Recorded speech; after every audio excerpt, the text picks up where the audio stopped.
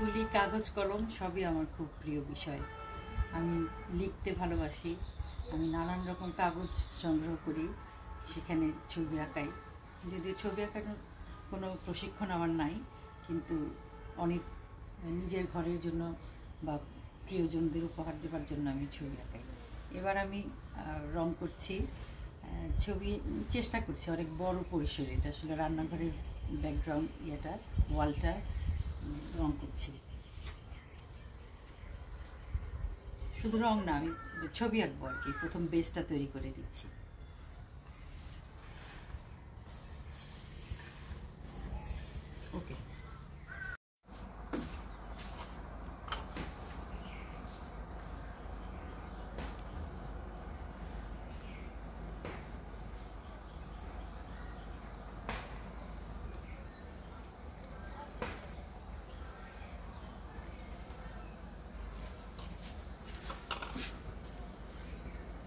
পৃথিবীতে কোনো কাজই সোজা না।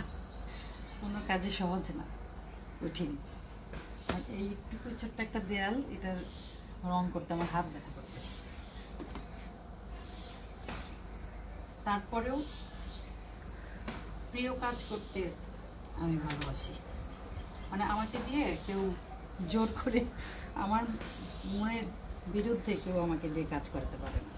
আমি যেগুলো কাজ পছন্দ করি ভালোবাসি সেই কাজগুলি আমি করি করতে পছন্দ করি। এই স্বপ্নটা আমার অনেক দিন আগে। অনেক বড় বড় ওয়াল আছে না ওয়ালে? ছবি দেয়াল চিত্র যেটা। তো অন্যের দেয়ালে তো আর চিত্র অঙ্কন করা যায় না। আমি সেই সুযোগটা নিলাম।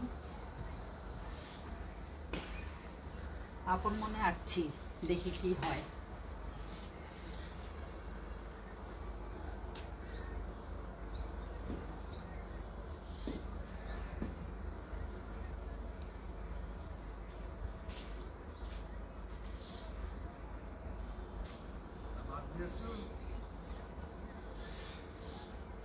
have kids. Hmm.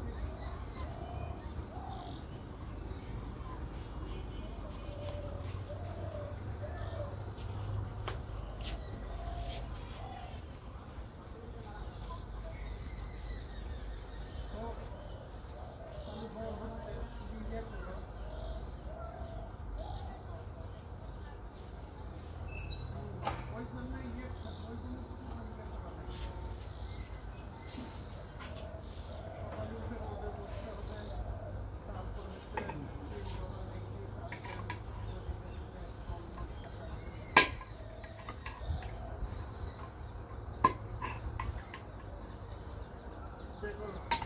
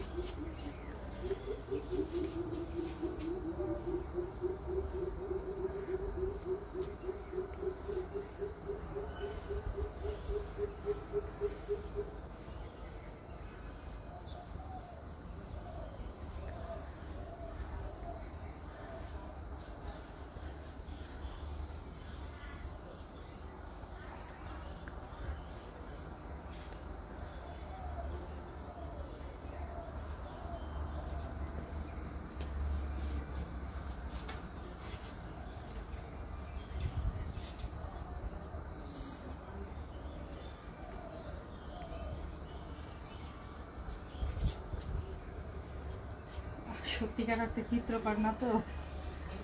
মনে যা চাইলো, যা ভালো লাগল, একটু ইচ্ছে করে একটু কালারফুল আঁকতে চাচ্ছিলাম। সেই জন্য আমি সূর্যমুখী এঁকেছি। আর সাথে আরও ফুল।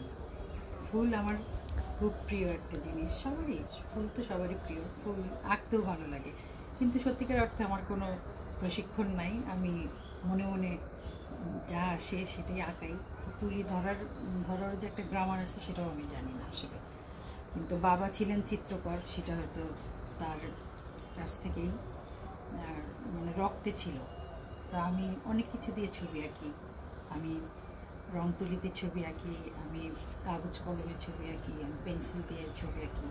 আমি পাতা শুকিয়ে তার উপর ছবি আঁকি সুই সুতায় ছবি আঁকি।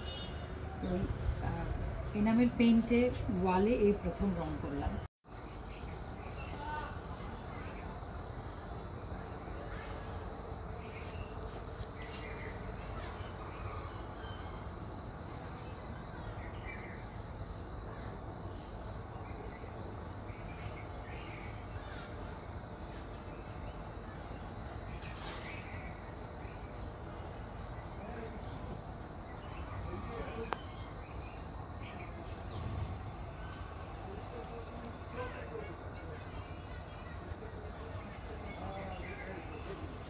এখন ইচ্ছা করতেছে পুরো রান্নাঘর করে ফেলি।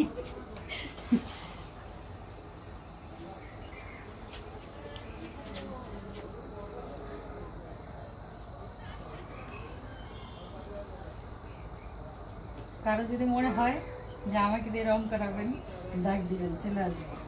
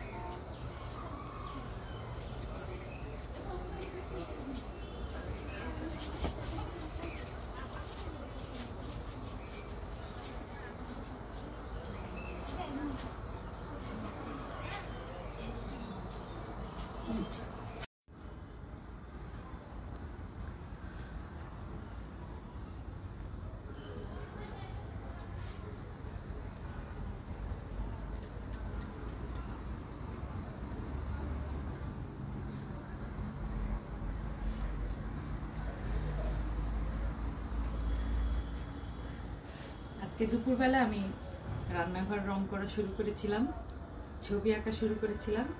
একদম মাগরীবের ওয়াক্তের আগেই আমার কাজ শেষ হয়েছে। তো আঁকতে আঁকতে মনে হচ্ছিল যে আর একটু ভালো করা দরকার রঙের একটা খেলা। এই যে একটা মানে মনের মধ্যে একটা অদম্য বাসনা এবং এই যে একটা মানে না করতে পারার একটা মানে উৎকণ্ঠা এটি আসলে একটা শিল্পীর মনে সবসময় হয়। আমি নিজেকে শিল্পী করে দাবি করছি না।